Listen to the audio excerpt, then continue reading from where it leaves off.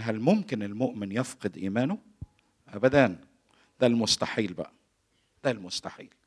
مستحيل أن يفقد المؤمن إيمانه لأننا نحن لسنا من الارتداد للهلاك بل من الإيمان لاقتناء النفس. مش ممكن المؤمن يفقد إيمانه.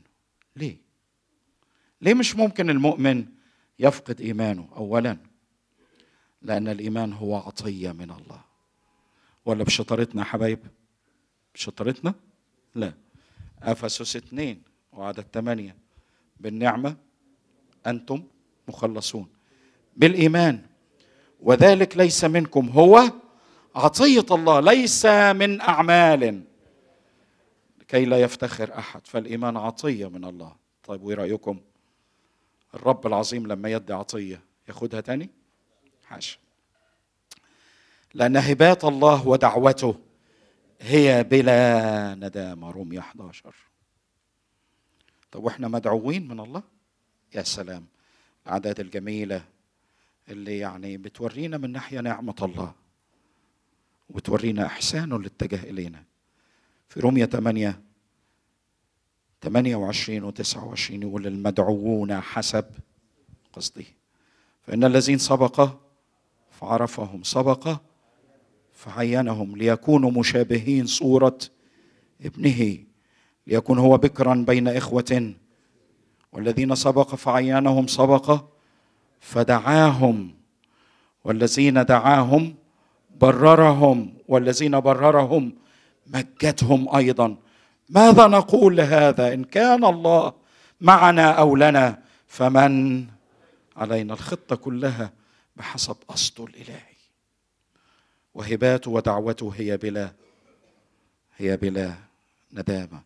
علشان كده مش ممكن المؤمن يفقد إيمانه. لكن كمان الإيمان في قلب المؤمن محروس بشفاعة ربنا يسوع المسيح. رب يسوع بعد ما أكمل العمل قام من الأموات وصعد إلى السماء. وهو فين دلوقتي؟ هو حي لأجلنا. بيعمل إيه؟ وجوده هناك بكفاية شخصه وبكفاءة عمله تضمن مركزنا وعلاقتنا كأبناء بالنسبة لله. أبينا.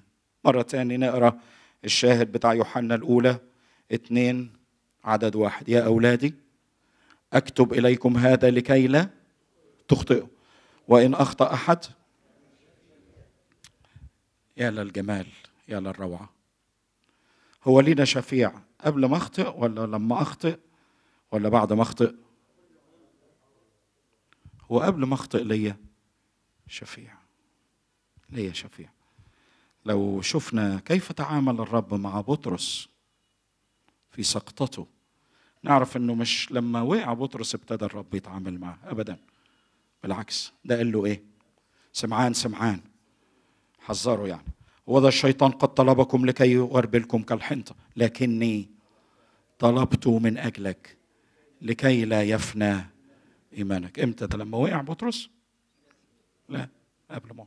طب اداله الوعد اللي يشجعه أثناء سقوطه؟ طبعا. قال له وأنت متى رجعت؟ ثبت إخوتك.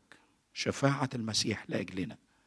وجوده يسوع المسيح البار وهو كفارة لخطايانا. وجوده عن يمين العظمة في الأعالي هو ضمان يحفظ مركز المؤمن ويحفظ الإيمان في قلب المؤمن.